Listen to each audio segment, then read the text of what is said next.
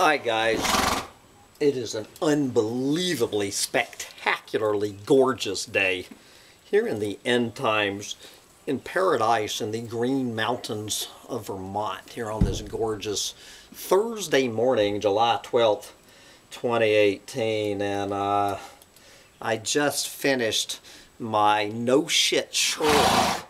Yes, my no shit Sherlock roundup doomsday roundup of the day. So we're going to switch to a fairly truncated version of part two of my Doomer headline rants, and we're going to make this one the bullshit detected. Bullshit detected. Take precaution. Roundup rants, and so I don't burn out the batteries of my bullshit detector button, and also the. It took me so long to research the last rant my batteries are about gone here on uh, my computer so before global industrial civilization collapses on me just need to go through the bullshit detected version of the mainstream media starting out with Time magazine in the shithole city of Pueblo, Colorado. Time is showing us how one industrial city is fighting to go green. And I, you cannot, uh, this is an absolute priceless, I guess unintentionally, hilariously ironic headline. Larry Atencio is steering his Ford Explorer SUV through the streets of Pueblo, Colorado, pointing out from behind the wheel of his SUV how the city is going green.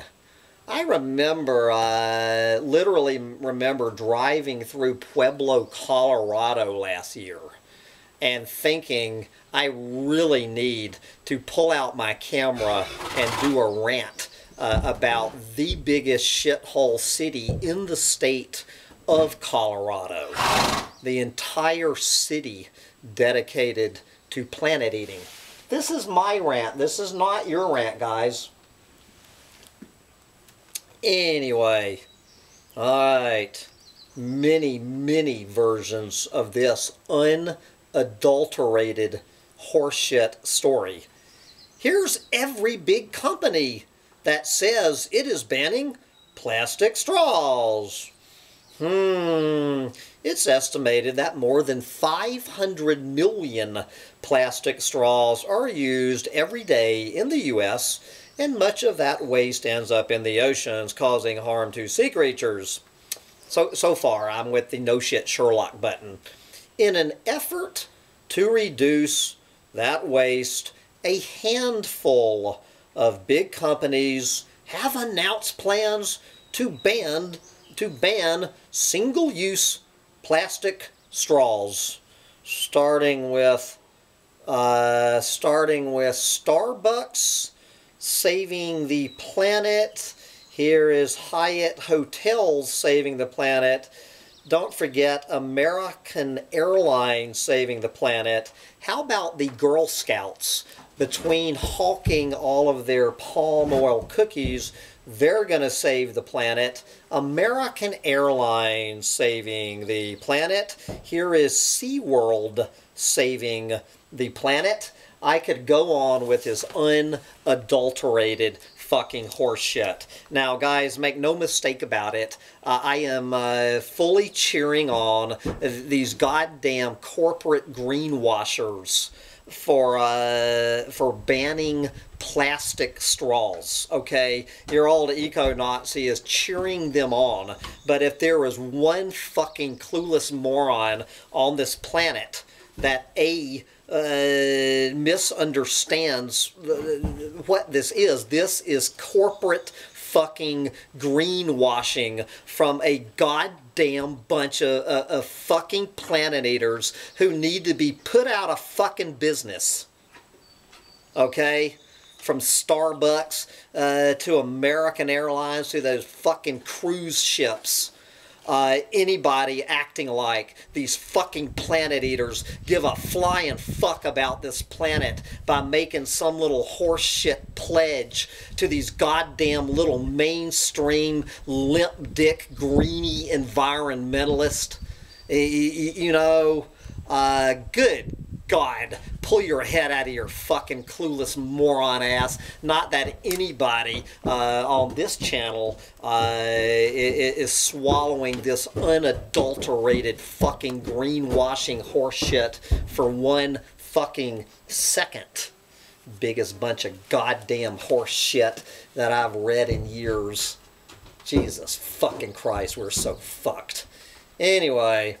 What's going on in the shithole country of Mexico?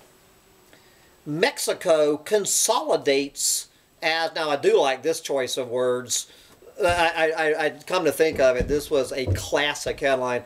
Mexico consolidates as an actor committed to climate change. That is exactly what Mexico and any other country acting like they're committed to fighting climate change.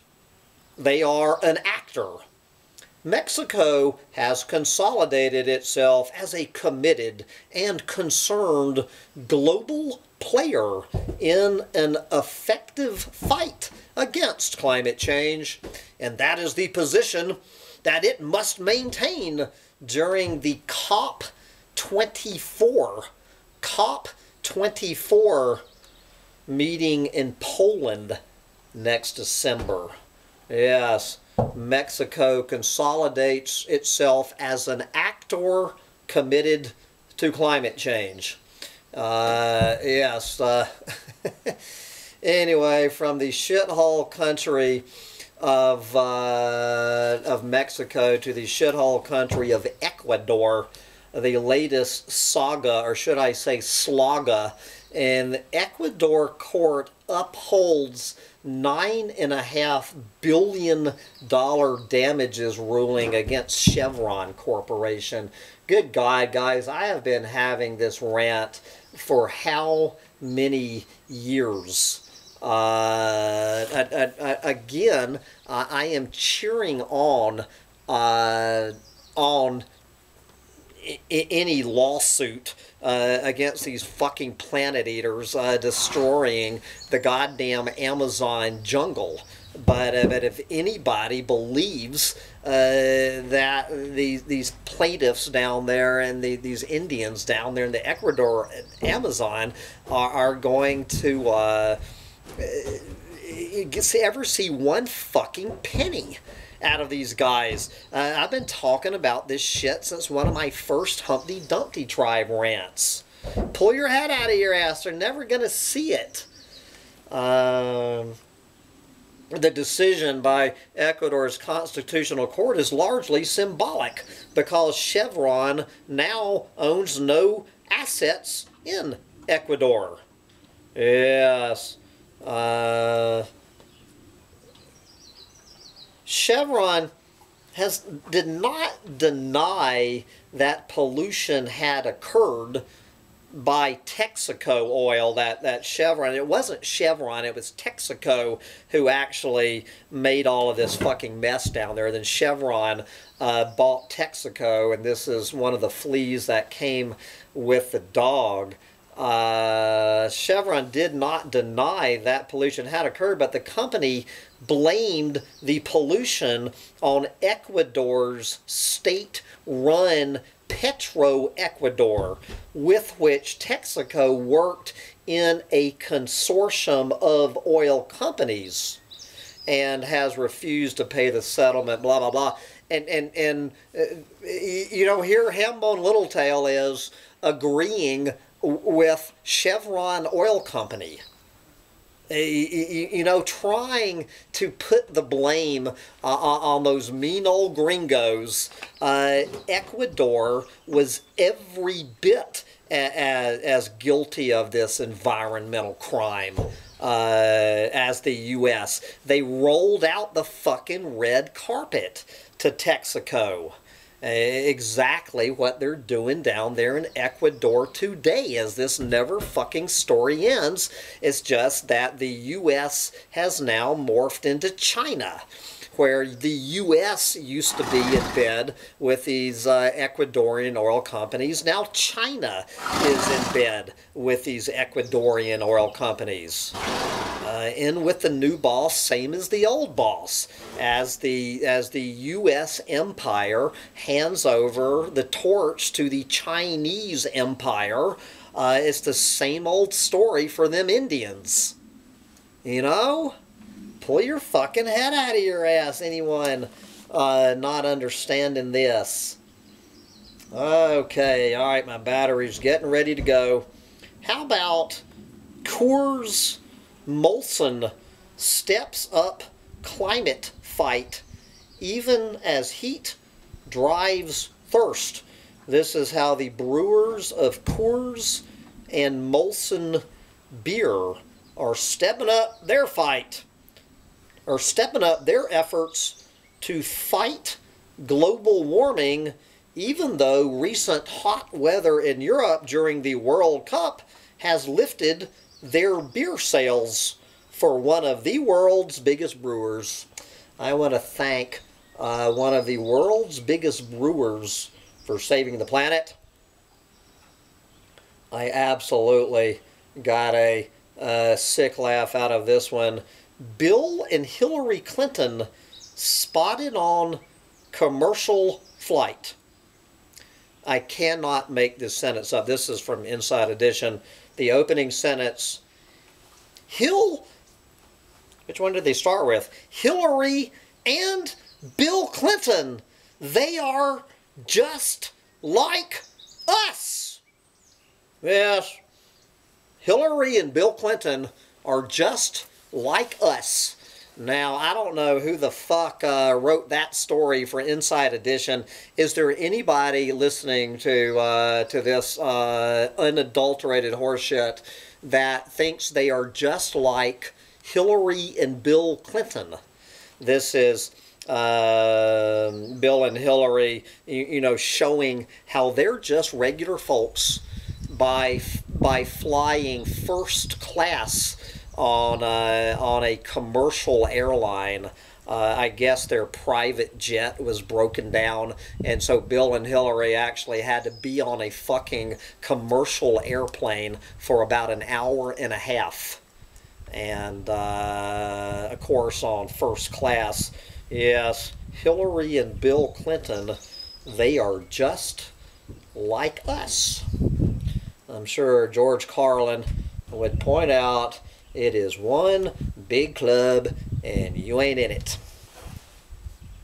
But I just want to close with, with this humorous story from one of these clueless moron models, Katarina Zarutskie. Instagram model hits back at critics after being attacked by a shark while posing for a photograph. I guess I probably should have put this. I'm sorry, this actually belonged in the No Shit Sherlock photograph. An Instagram model has hit back at criticism from online, online trolls after being bitten by a shark while posing for photographs in the middle of a school of them. Yeah, so she saw this school of sharks, and Ms.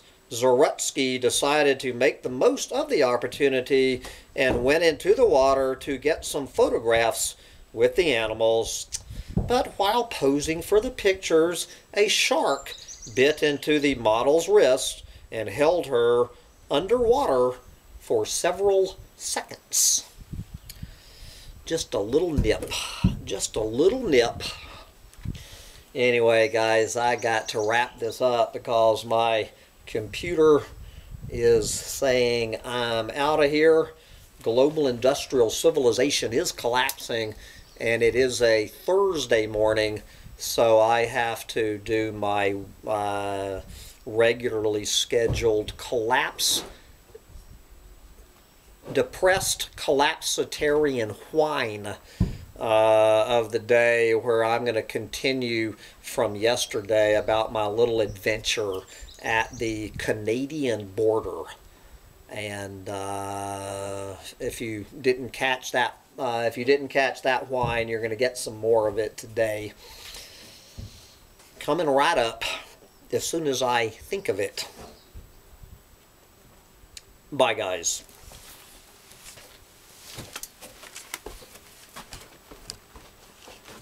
Yes, little dog. You ready to whine?